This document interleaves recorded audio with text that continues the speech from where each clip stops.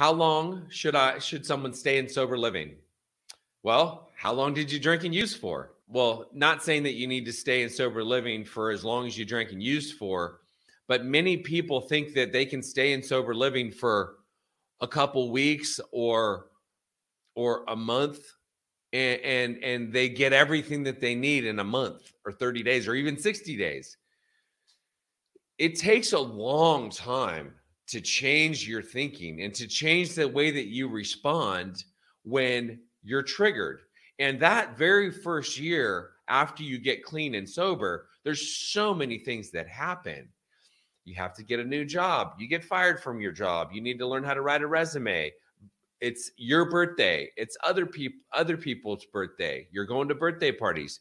You're going to football games. You're going to baseball games, weddings, New Year's Eve. July 4th, Memorial Day, St. Patty's Day, April Fool's Day, like like all of the different holidays that happen and you're experiencing them if you're experiencing them probably for the first time in your life clean and sober. So learning how to live life differently takes time. So statistics show that staying in sober living for at least 90 days, that's where you get the most benefit. If if if you stay in sober living for at least 90 days after you go to treatment your chances of staying clean and sober increase by 40% that, that's that's what the statistics show. So staying in sober living i've seen people stay in sober living for up to two years. So three to six months is a good is kind of a good introductory period of time to to stay clean and sober and it's it's it's stay stay in sober living. I've heard people say stay in sober living until you're scared to leave.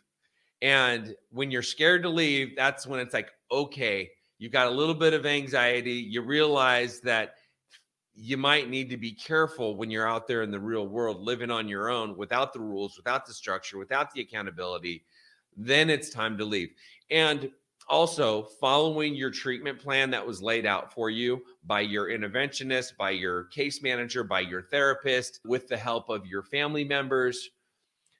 And just don't make the decision to leave sober living on your own. I guess that would be the most important thing is consult with your sponsor, your therapist, your case manager, your loved ones. And if you can consult with all those people, don't make an impulsive decision to leave sober living you know, don't get get into a fight with your roommate and say, "Screw this, I'm out of here." You get into a fight with the house manager, "Screw this, I'm out of here." That's when it's not good to leave. Make sure that you have your plan laid out. You consult with people that you trust, and that's when you make the decision to leave the sober living home.